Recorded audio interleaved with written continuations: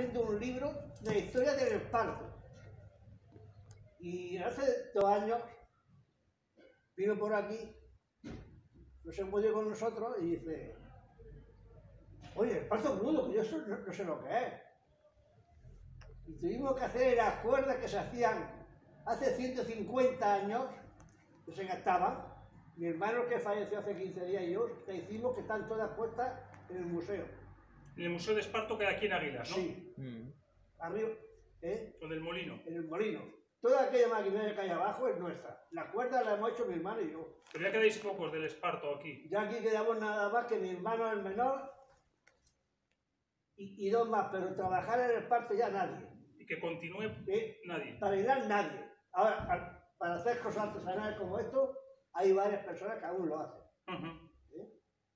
Pero el esparto, el esparto entonces crudo, ¿cuál es de estos? O- espérate, Vale. espérate. Espérate. Mira. No sé si tengo acá.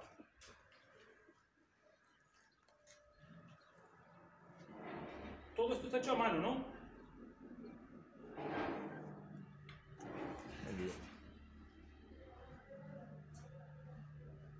Madre mía. Mira, el pasto crudo. Es- es- Este que se queda en el monte. Que se cría nada más que aquí en esta zona de Murcia, No, esto, no, no, no, no. Porque más se cría en, en la zona de Almería. En Almería. Hay esparza hasta Madrid. Pero la base principal y en también mucho. Y ya no se recoge ya esparto de este. Si se, si- se recoge porque lo están gastando para la escayola. Ah, para la escayola. Sí, pero para el tema de la artesanía y para el tema de esto... Ya, ya, eso se ha acabado. Los artesanos que aquí hay, pues van al monte, cogen, cogen un puñado, se acaba para otra vez y ya está. Pero si Águila, Águila, fue la madre del esparzo, y el pueblo se levantó con el esparzo. ¿Hace cuánto? ¿50 años? Más. Más, más, más. Más. más. Bueno, pues yo lo quiero probar a ver para meter las abejas dentro, a ver cómo, se, cómo antiguamente Bueno, pues- se encuentran estas. Ya, pero es que para la abeja hay dos sistemas de hacer lo que yo te estoy explicando. Te voy a explicar. Hay la que es como si fuera esparto, pero fíjate yo tengo yo. Es como si fuera un- una palma sin de ancha. Una hoja que está así, que está puesta eh, eh, alrededor de la palsa, donde pasan los ríos. Entonces eso se cortaba. Y, y se empezaba a poner, a poner, a poner, hasta hacer un morcillo así de gordo. Liado con una cuerda. Y venga, venga, entonces se empezaba a hacer redondez, así de ancho, pum, pum, pum, cosiendo para arriba, cosiendo para arriba, cosiendo para arriba, cosiendo para arriba, y así hacían los paneles. Y ahí, ahí, y ahí metía el, el panel de la oveja, De las abejas. de las ovejas. Y ahí construían los panales las abejas y ahí vivían, Ahí vivían, hecho de esparto. sí.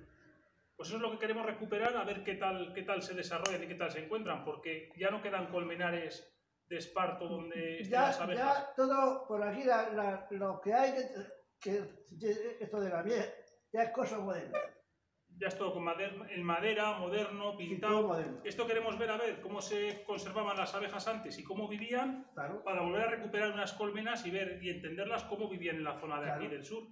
Porque esto al final, eh, ¿qué comportamiento tiene con la humedad, con el agua y con el sol? esto se moja y seca Se moja y se seca. no pudre porque como está bien, bien trenzado que está haciendo como una soga liándolo ¿cómo te iba a decir yo un grosor?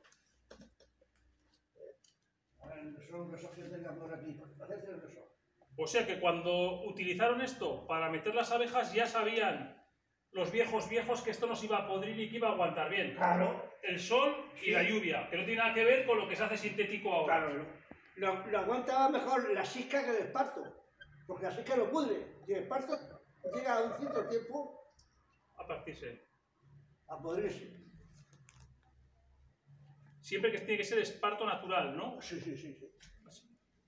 Mira, ¿Y cuántos llevas? ¿Muchos años haciendo esto? yo, yo solo no he hecho nunca, lo hacían aquí. Yo lo que ha sido siempre hacer cuerdas de esparto. Pero te quiero decir que con el tema, trabajando con la cuerda del esparto, Yo, mira, éramos cuatro hermanos y mi padre cinco. Hemos trabajado toda nuestra vida para nosotros en el esparto. No hemos jubilado en el esparto. los cuatro hermanos. Y mi padre ya se jubiló hace tiempo ya. ¿eh? Y hemos tenido nuestra industria. Y ahí tengo una máquina de picar esparto, la tengo también ahí. Para la agricultura. Pero ya no hay generaciones que quieran continuar con Ya. esto, ¿no? Nada. Al final la máquina pasará al museo. La estoy. Y Estoy ya para el ayuntamiento, ya 12 años que se la lleve y, no, y dice que no tiene sitio. Ah, buena madre. Digo, que la voy a coger y, y la voy a vender a setarla, porque eso ya me hace falta a mí. La madre. ¿Qué he regalado? Todo, nosotros regalamos todo lo que hay allí en el molino. ¿Tú has visto el museo del molino acá? Yo lo he visto arriba, sí. Y el de abajo, No, el de abajo no. por- eh, en la parte de abajo está la maquinaria nuestra y las cuerdas nosotros las hacíamos. Pues, madre mía. Eh, la hacíamos nosotros. Y, y está regalado allí y la máquina que se regalamos para la historia de, de las nuevas generaciones que vengan. ¿Y cómo era lo de los secaderos de esparto que hay aquí en la playa? ¿Cómo funcionaba? Los cocedores. O los cocedores, Los perdón. cocedores, ahí, en cocedores, yo he trabajado una cosa mala. Pero ¿cómo funcionaba eso de los cocedores? Eso que es, es hacerse un- una pared, haciendo bóvedas. Entonces, va de mayor a menor, subiendo. Un empedrado. Y entonces, había se quedan huecos entre las piedras y subía la marea. El empedrado estaba, estaba protegido dentro, en la playa, entre la playa y, y- y la pared. Sube la marea y el empedrado estaba un mes dentro del mar. ¿Y cuál era la función? ¿Por qué se ponía cerca? de- ¿Por qué se ponía al lado del mar? porque el agua del mar eh, para cocer el, para el parto es maravillosa. Es maravilloso. Pero se llega a mojar entonces, Sí, sí, sí, sí. Todo el mes en contacto con el agua húmedo. húmedo. Y cuando empieza a cocer, empieza a echar lejía. El parto suelta lejía, cociéndose. Ujú. Y, y- y- y allí nosotros cuando ya sa- sacábamos el cocedor ya, íbamos y lo limpiábamos con un boliche que teníamos de jarcia y pillábamos otra casa de pescado. De todo. Que se habían metido en el esparto, claro. Y luego, cuando vinieron ecologistas, dijeron, dice, es que eso, eso perjudica. Que el pescado se muere Pero así ha sido toda la vida. con la lejía. Vale. Digo, digo, y yo digo, señores, digo, ustedes, ustedes sabrán de estudio, pero de práctica soy yo más, más que ustedes. Por supuesto, porque tienes la, tienes la experiencia. Es Digo, yo estoy traba- trabajando en el cocedor y ya había púrpuras integrantes. Cuando estaba, echábamos ya la jarcia para decir, para limpiar, para sacar todo larga y todo, para dejar otra vez limpio, pues otra vez parto, digo, hemos pillado de estos nenas, que es como si fuera la langosta, Ujú. camarón así de grande, músculos así, romanos. Eso se vendía de pequeño y ya cuando se hacían grandes, pues a lo mejor que entraban Ya no podía salir. Queremos salir. Y eso lo, lo he pillado allí. Y dice, ¿cómo? Digo, que sí. Dice que echa olor, digo, olor sí que echa. Digo, echa más olor el esparto cocido en agua dulce que. Joder. Y nos dijeron, se fuera de aquí y, y- nos tuvimos que ir. Entonces, buscamos una balsa y cociamos en la balsa. Pero la esencia estaba en el mar. Vaya, vaya, vaya. Hombre, lo ensuavece. El, el agua, el, el agua dulce lo endurece mucho. Y este esparto viene de Cieza. De Cieza. De- De este- Cieza. del interior. El otro Sí. día estuve en Cieza yo. de Cieza. E- Este esparto es es esparto de montaña, de roca.